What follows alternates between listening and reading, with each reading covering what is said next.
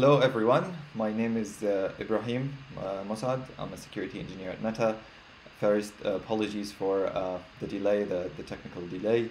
Uh, but yeah, I think uh, we're, we're good to start. I, I hope everyone can hear me, can see me well, um, and I'll, I'll start. I, I cannot see you, so I'm not sure if it's working or not, but let's hope it is. Uh, all right, so my name is Ibrahim. I'm a security engineer at Meta, and today I will be speaking about static analysis. Do you speak my language? Make static analysis engines understand and work together with, with each other. Um, if you don't know much about static analysis, that's fine. I'll walk you through uh, what does it mean, and I will uh, explain the, uh, the, the relevant bits throughout the presentation. Uh, when I made this presentation for the first time, it was like too technical, but I, I know this is a managerial session, so I'll try to keep the uh, presentation as, as high level as possible, but keeping the interesting bits uh, in here. If I end up going a little bit technical, so apologies for that in advance, but I will always try to go, um, I'll always try to kind of go up high, high level. Uh, if, if you are interested in the, in the, in the technical bits though, uh, you can always go into, uh, so I presented this in Black Hat last year, uh, a more extended version of this slide, so you can go back to these slides for the technical, uh, the super technical uh, bits. All right, let's get started. Uh, so to give you a peek of this, what, what this presentation will be about, let's start with this code snippet here. so let's imagine this is the Facebook, Facebook endpoint to return page information. Um, so you take a page name and return uh, the posts, the everything related to a page. And as most of you in the uh, can, can see, there is a SQL injection vulnerability here. You have uh, username, uh, page name coming from the user, and then after that we do a SQL query in an unsafe way that leads to SQL injection. Uh, the SQL injection here is straightforward. Everything happens in uh, one piece of code, and you can find these bugs using grep and, and other uh, uh, pattern matching uh, software. This is not what this presentation is about. This is another example where we have the same SQL injection, but real code usually have higher abstractions, have different frameworks, and here we have the wrap get page name, a function that return you the username, uh, the, the page name eventually, uh, but from user controlled data, and then wrap fetch data is like a couple of functions that uh, wrap the SQL query. But the SQL injection is still here, but in order to find the SQL injection through automation, you need more advanced tools or more advanced themed uh, static analysis tools. Uh, we, we have open sourced a couple of tools that help us to take this type of patterns, and in this presentation, I'll walk you briefly about how do they work. But what this presentation is about is this code snippet here. So on a higher level, this is the same SQL injection exists here without going into the code, but the interesting bits here is that uh, the, the SQL injection is, be, is spanned between two code bases. On the left-hand side, you can see PHP code or, or Hack code. This is what we use inside Meta. And on the right-hand side, you can see Python code. The same SQL injection exists, but this time across two code bases. And this is what this presentation is about. With that, uh, let's quickly introduce myself. You know my name. My name is Ibrahim Mossad. I am a security engineer at Meta for the past uh, six years. Um, I work on automation and static analysis, and what I focus on is how can I make sure that static analysis uh, software security engineers can scale, how we can scale our own uh, detection, and we find all kind of vulnerabilities in an, in an automated fashion. Before uh, Meta, I used to work uh, at EGCert, QCert, Deloitte as a security consultant, penetration tester. Um, also, I presented at different conferences, uh, DEF CON, Black Hat. I think this is the third time I, pre I present in the Arab Security Conference. This is my Twitter handle if you have any questions or anything related to this presentation, and also uh, feel free to add any questions to uh, the Hoover application. All right, let's get with the agenda. So uh, we'll start with motivation. Why do we care about uh, cross-language flow analysis, or why do we need to make sure that static analysis engines need to take to talk to each other? Why this is valuable? Uh, and then we'll recap the single repo analysis, or how we find that SQL injection in the same code base, no matter how complex is this. And then we'll talk about the cross-repo flow analysis, which is the core of this slide. And if we have time, I hope we will, uh, I'll show you an example flow of the uh, vulnerability uh, of a vulnerability that we have actually detected with this effort, and we'll end up with conclusions and answering some some questions. All right, uh, so let's start. So when we think of a web application or applications generally, we would think of this design here. So we have user uh, sending requests through some sort of proxy, uh, and we have the application logic. So this is if this is Facebook.com, so the application logic will be mostly written in PHP, and uh, we have some database that stores the data, and then the application logic processes the request, return the data to the user, and that's it. It should work.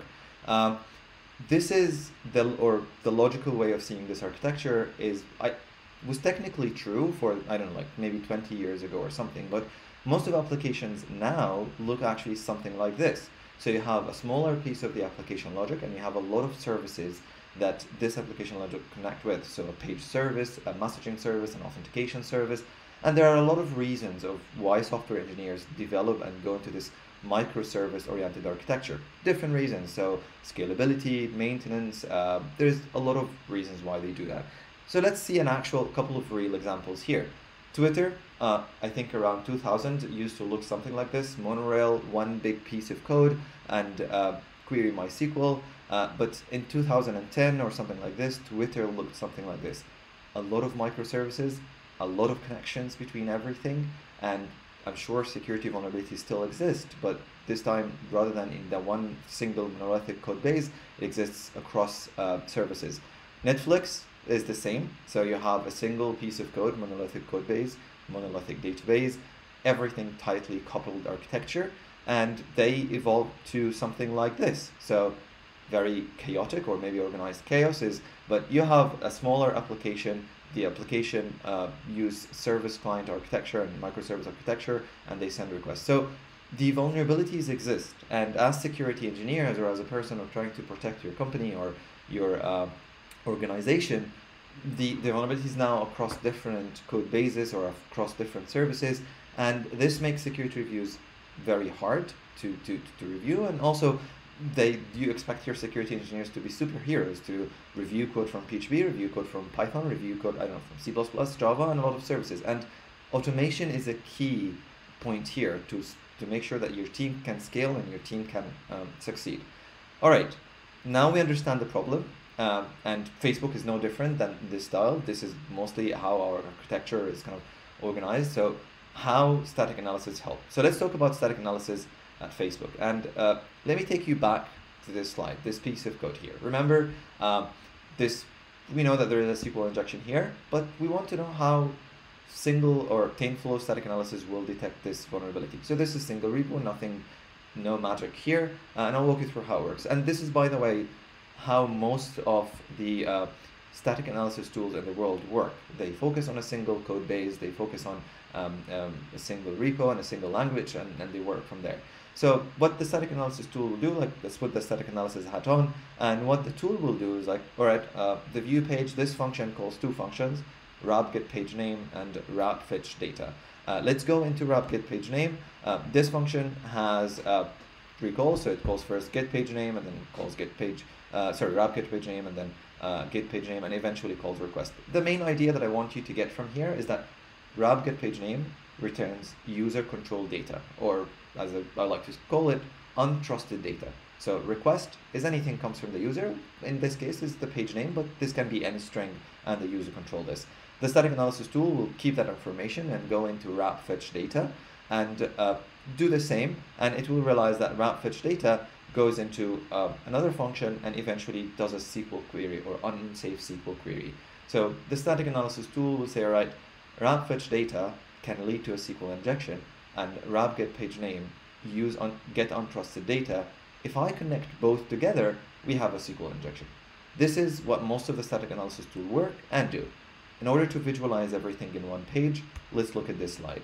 Uh, to just understand this slide, so we have a tree. The root of the tree is where the untrusted data and the dangerous function meet together. On the bottom left, you see the request, untrusted data, a couple of functions, which are wrapper functions that we went through, and then we go forward this data to the dangerous function. This is how you can visualize everything as a trace, uh, and, and this is what the static analysis uh, see. At Meta, we have three tools that does this. Zoncolan is a taint flow static analysis tool that work for Hack or PHP. Pysa, it's an open source static analysis tool that work for Python. Mariana Trench is a static analysis tool that work for Android. It's also open source. These three tools work the same way I have just explained. All right, on a higher level architecture, how do they actually work or how everything fits together? So this is the design uh, diagram for it. Uh, let, let's break it down a little bit. So on the top left, you see the language. So it could be PHP, Python, or Java.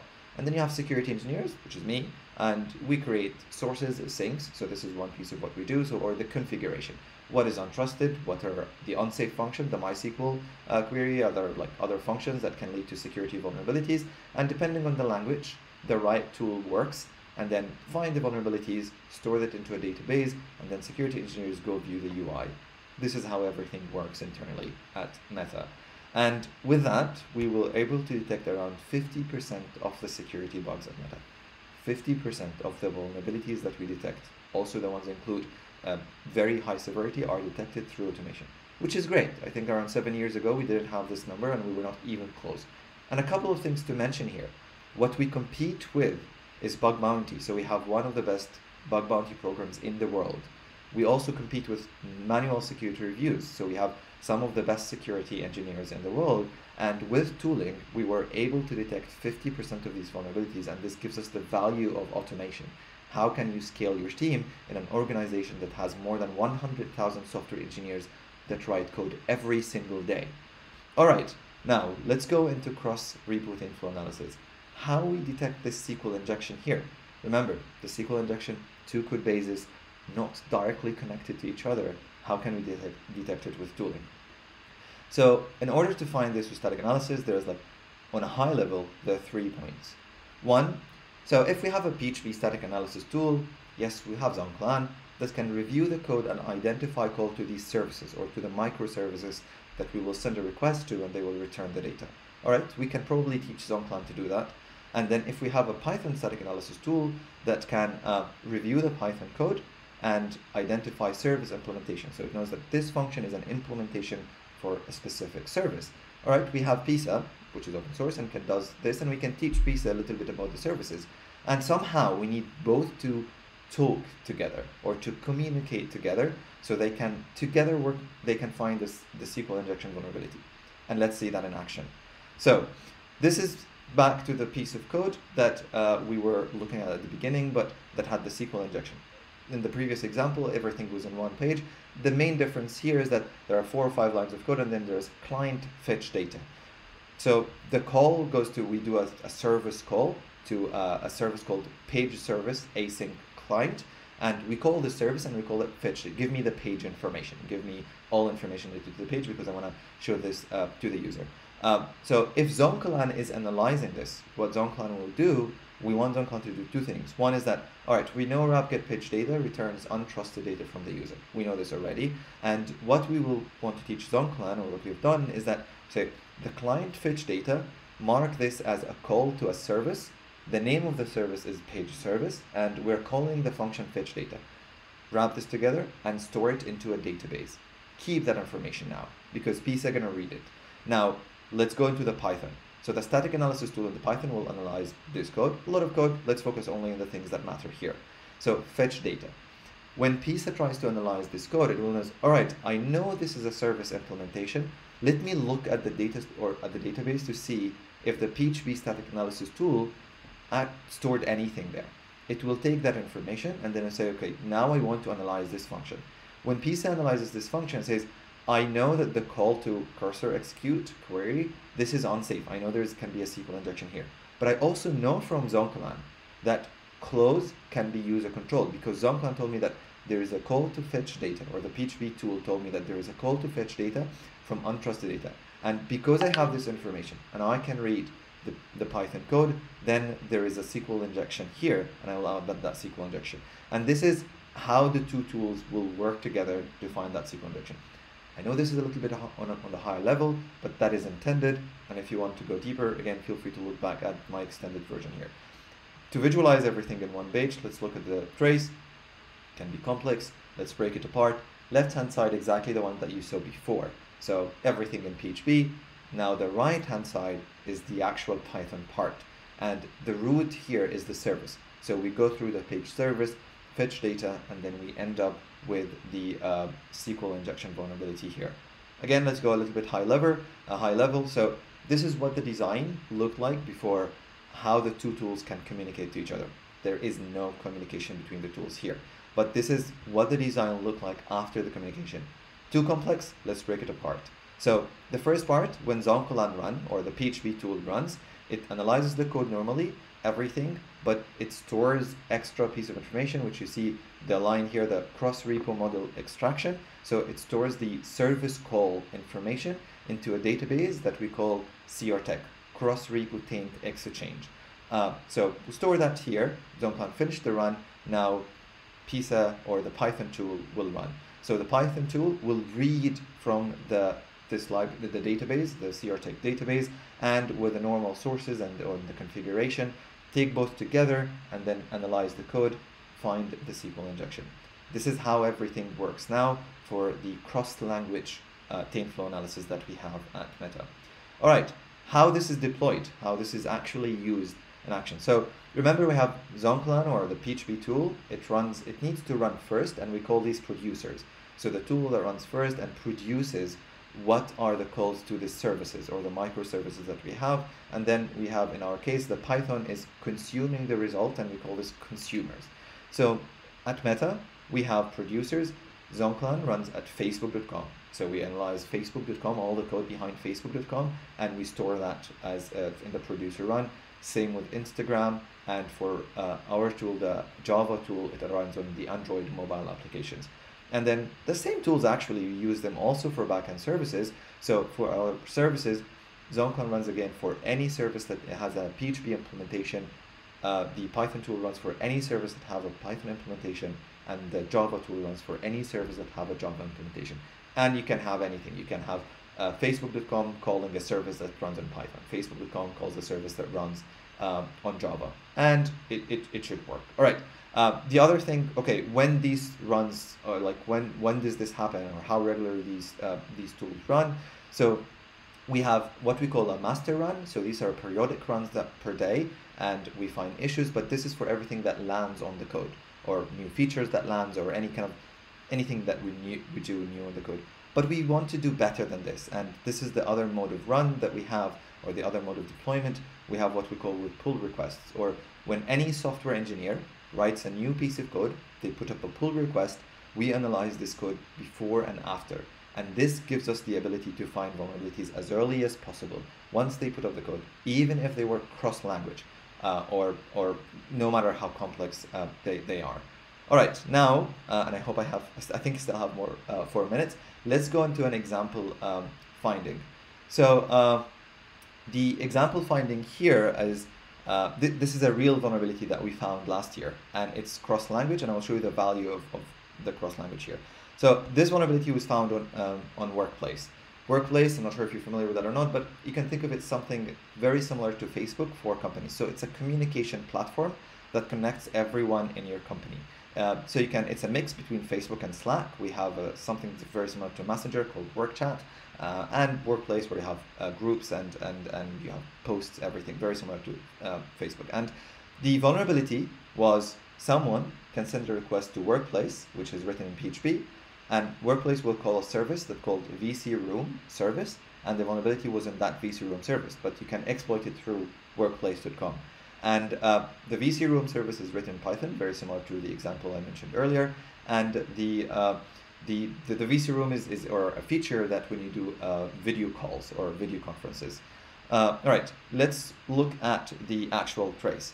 It's complex. I know it is complex, but we're not going to dive into everything here in details. But the main things to highlight is on the left hand side, you have your PHP code. On the right side hand side, you, you have the Python code. Also, a couple of things. This is was a remote command execution vulnerability, which is a very severe vulnerability. It's on a the, the trace is complex by default, and this is what security engineers will normally have to go through to find this vulnerability. So you want the kind of a superhero security engineer who reviews PHP code, who reviews Python code, understand these services can connect to each other. But now with the tool, we actually find this automatically. The, the next slides are a little bit, we're actually going through the code, but I'll skim through them super quickly. But I just want to show you the real thing and how we actually find it. Uh, this is, by the way, our UI. This is how the UI works, but this is one frame here. So we start from this call, uh, which the first, like the bottom left of, of this graph, so we start with what we call GraphQL. GraphQL, you can think of it as a REST API. Um, so anyone can call this uh, REST API or uh, get, get information. And the, the, the REST API here, the called workrooms start VC bridge. Uh, the couple, the main points here is that uh, anything here is user controlled or like data is user controlled. And then after that data goes to a function called genspawn. This is the PHP part. Uh, we will, uh, yeah, the one thing to mention here, this was gate uh, behind a gatekeeper or behind a switch. So this was only enabled for employees for testing or before the feature launched, and this is when we detected the vulnerability. So no one was actually affected uh, by, by this, or no real users have been affected by this. But the vulnerability was there and it was exploitable, uh, but only for limited uh, employees.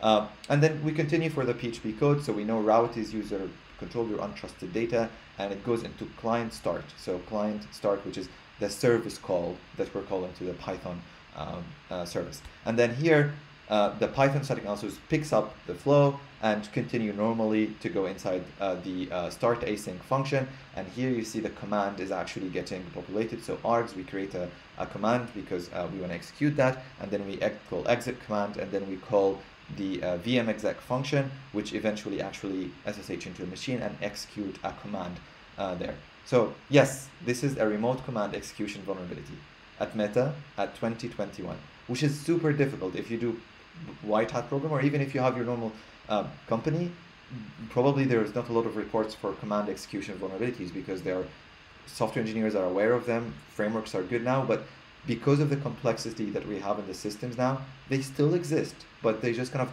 hidden in, in plain sight or they're too complex to actually find them now. And we managed to find that through automation.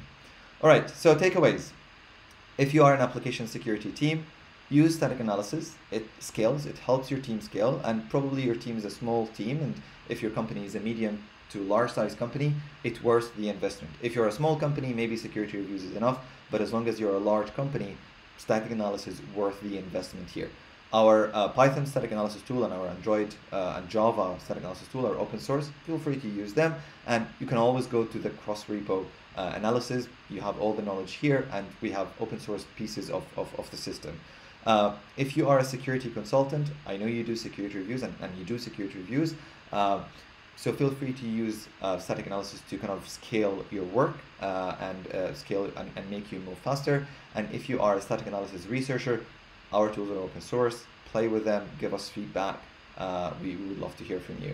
Um, finally, I would like to thank everyone who has been part of this presentation and part of this great work here.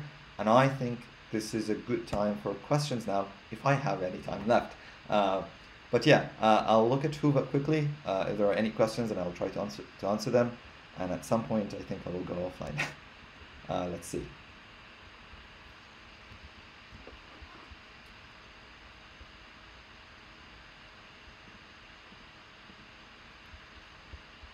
So I don't think there's any questions so far. Uh,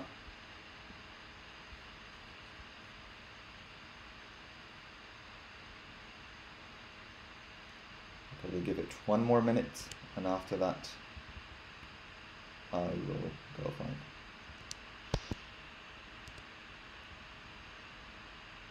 All right. Uh, anyway, if you have any more questions or if you have any questions, just feel free to reach out to me at Huva or uh, my Twitter account. Uh, I'll get back to you. Uh, thank you very much and have a lovely day. Bye.